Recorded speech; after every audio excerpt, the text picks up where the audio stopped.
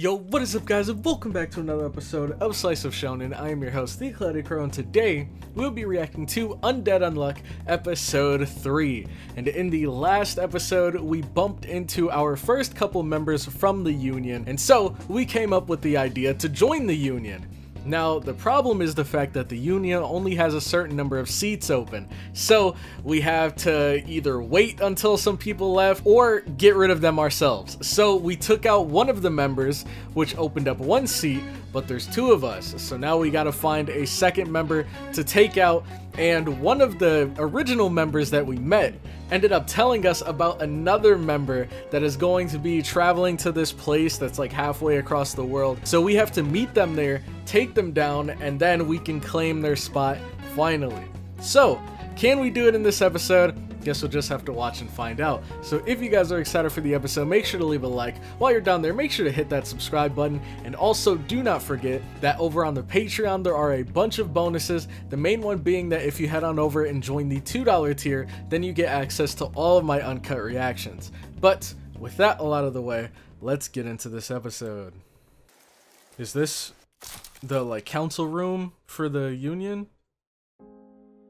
Union Isolation Facility. This is weird. Oh! Happy birthday, Gino? Is that what it says? Wait, so does this mean that he used to be a part of the facility? A part of the union? That's interesting. I wouldn't be surprised though, because he has been alive for hundreds of years. Even though he is immortal, I'm sure he would have been captured by now, unless you know, he was a part of the union.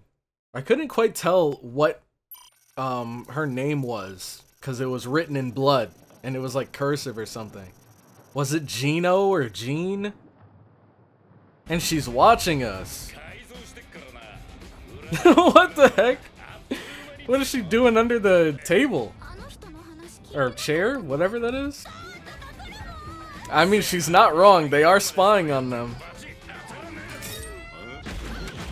Oh my god. I didn't see if he, like, you know, touched her legs. I think he was uh, touching the pants. So I don't know if this is the bad luck or not. Yeah, because she can't control what happens. A giant shark could come up from underwater and just eat the whole boat. Oh, yep, yep, we saw this last episode. Heart's bullet. That's when he used his finger as a gun. That part was sick. Whoa! So he has the unbreakable ability. Experimented on me. And nabbed me.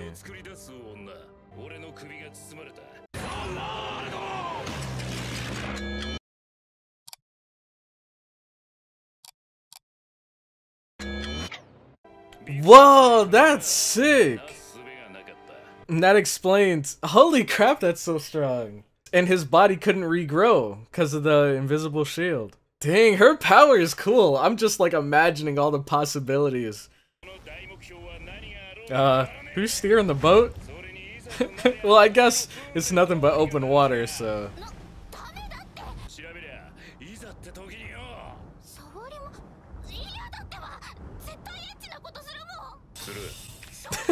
this dude, man. Shameless.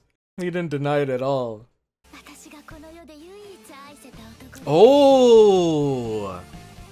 The only man in this world that I was able to love.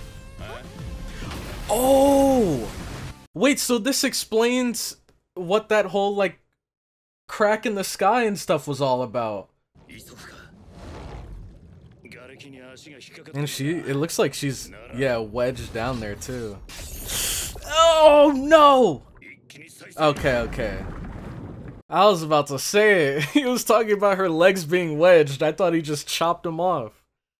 Like, uh, you know hers can't grow back, right? How the heck is the boat floating? That sounds dumb outside of context, but given what we're seeing here, it makes sense.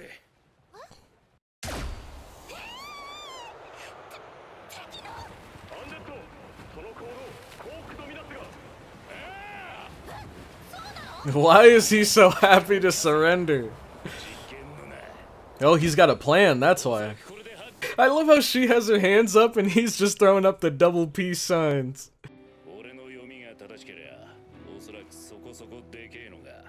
I, I don't like the sound of this. What the heck? Oh, okay, okay, fair. Wait.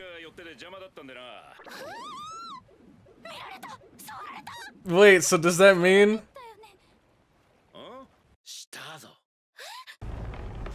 Oh, this isn't good. Don't tell me this is the giant shark. Oh. What the heck are the odds, though? And he landed right on the plane. Repair boost. Oh! What the heck? Are we are we in Demon Slayer now? That is sick. Like I said, I love anime where characters have a power, but they find a ton of like creative ways to use it. I never would have expected that someone that just had immortality powers could do everything that he's doing. That was sick though. That straight up looked like one of Tanjiro's water breathing moves.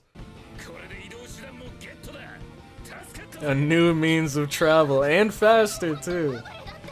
We just got a free ride. She's so embarrassed now. I don't even blame her.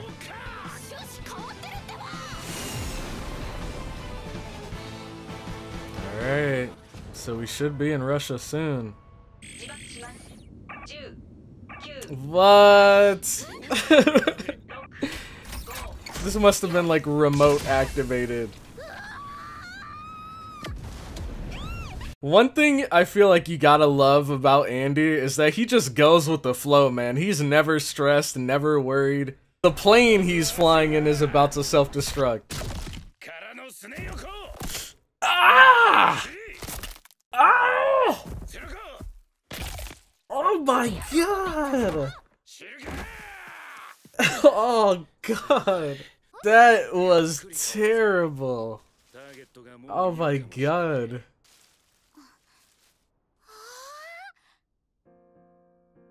This is Russia. Lake Baikal. Oh man, are we getting the classic anime beach episode here?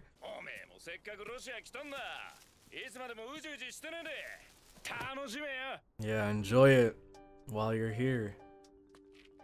Also, what the heck are these? Well, I guess this is a lake and not a beach necessarily. So I was about to say, why is everybody wearing like freaking pants and jackets? Wait, they have actual Russian in here.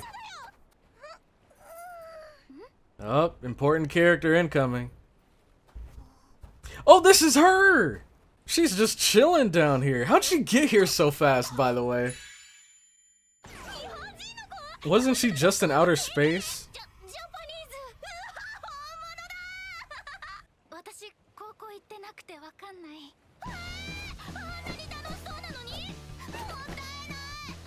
what the heck?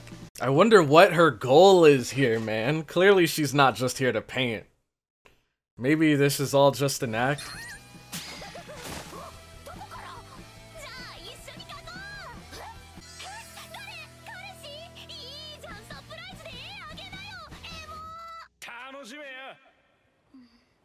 Now she's convinced. I like her energy, man. If she wasn't the bad guy, this would be pretty cool. But now I'm just, you know, suspicious of her. Or maybe this is just some weird coincidence and this is like her twin sister or something. I doubt it though. Oh, she knows. No, no, no. Oh, that's such a... Oh, man. That's such a good cover-up.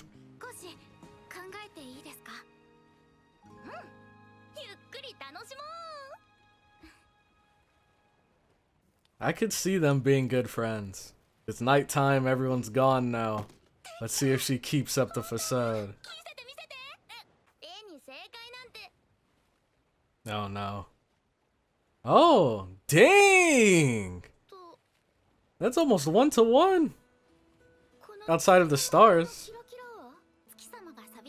Hmm. Now this leads me to believe that they actually are in like a dome or something. Because these guys don't even know what stars are.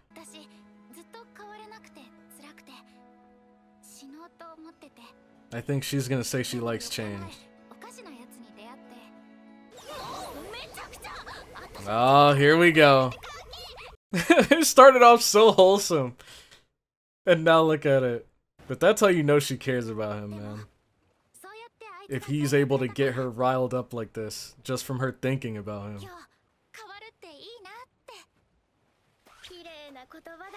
Oh, here comes the reveal. Look at this. Walking on water. How, wait, her voice changed! oh, the invisible barrier! What?! Dude, oh my god. This is exactly what I said earlier. About, like, how cool it is. Like, how I was thinking of all the different possibilities of what she can do.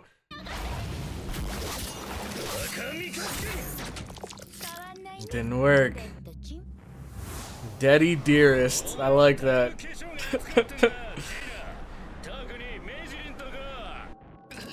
oh no. Oh! So, is everything a fake? Like, is her face fake too? Or was that just for comedic effect? This is so cool, man. An invisible staircase? I'm not gonna lie, she might have the coolest power so far.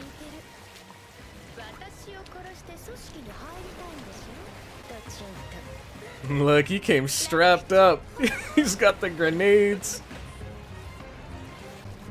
Let's see. To be continued! What a cliffhanger, man! I wasn't ready for that. Oh my god, dude, this episode felt so short. Alright, so that was the end of the episode, and my question of the day for you guys is going to be what are your thoughts on this new character's power? I don't know if they ever, like, outwardly said her name yet. I know he wrote it on the wall in that flashback, but again, I couldn't read exactly what it said. I don't know if it said Gino, Jean, whatever. I don't know what her name is exactly. But what are your thoughts on her power? Let me know in the comment section down below. And with that, I'm going to head out. Thank you all so much for watching this far into the video, and I will catch you all in the next one. Have a good one.